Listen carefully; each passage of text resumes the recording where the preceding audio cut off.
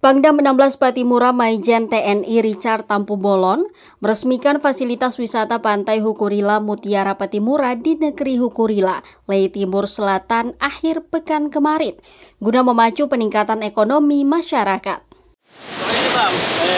Mengusung program unggulan Mutiara Patimura, Pangdam 16 Patimura Maijen TNI Richard Tampu Bolon meresmikan pembangunan fasilitas pendukung wisata Pantai Hukurila di negeri Hukurila, Lei Timur Selatan akhir pekan kemarin.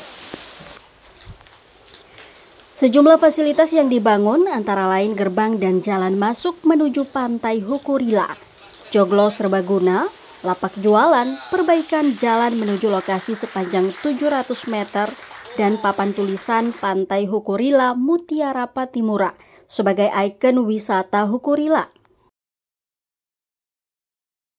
Saya sampaikan di dalam uh, kesempatan ini bahwa kita berupaya dengan segala keterbatasan yang ada, potensi yang ada, kita coba membuat bagaimana kehadiran kita itu betul-betul dinilaikan bermanfaat.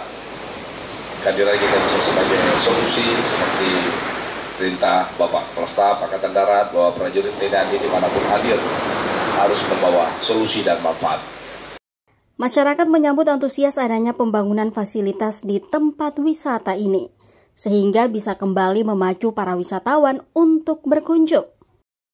Sebagai Kepala Pemerintah Negeri Pula mengucapkan terima kasih kepada Bapak Pangdam 16 Patimura yang selama ini saya harapkan wisata pantai wisata ini maju ternyata terbukti dengan adanya pendopo dari Pangdam Patimura dengan adanya pendopo ini ke depan itu kita saya berharap bukan sampai di sini aja ke depan lagi acuan sebagai kepala pemerintah negeri untuk menambah atau memperbaiki tempat wisata ini.